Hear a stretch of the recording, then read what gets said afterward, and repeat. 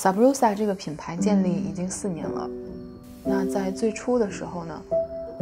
我是感觉我在市面上很难找到能够和人和个体产生很强的共鸣的珠宝，所以建立这个品牌，我的初衷就是想要做一些珠宝，让它是直击人心的。在设计过程中，我们一般会画大量的手稿。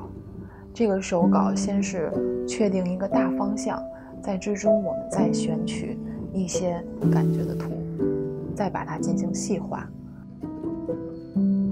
我认为好的设计，它不是凭空而来的，不是拍拍脑门画张图出来就是好的设计。好的设计有两样事情所支撑。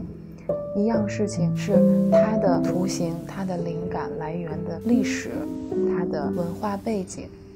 另外一个就是它的比例是否精准、是否符合自然审美。这是好的设计的两大重要的标准。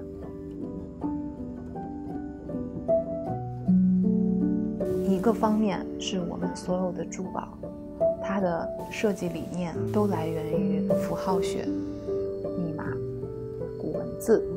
另外一个就是我们用的所有的材质都是天然瑰宝的材质，我们用贵金属镶嵌贵宝石、天然宝石，以确保我们的饰品在佩戴的过程中不会让你有任何不适的感觉，也不会在佩戴过程中有严重的掉色、变形等不太好的一个体验。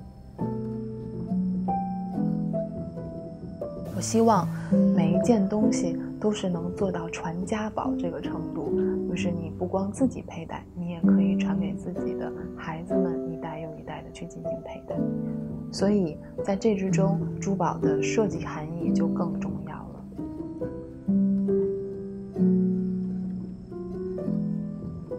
我不希望只做一个仅仅是漂亮的珠宝，我希望这个珠宝背后有它的原因。所以，我把珠宝和符号学结合在一起，是希望别人在看到这件珠宝的时候，你隐隐的会感觉到这个珠宝想要说什么。那这就是萨布罗萨的意义。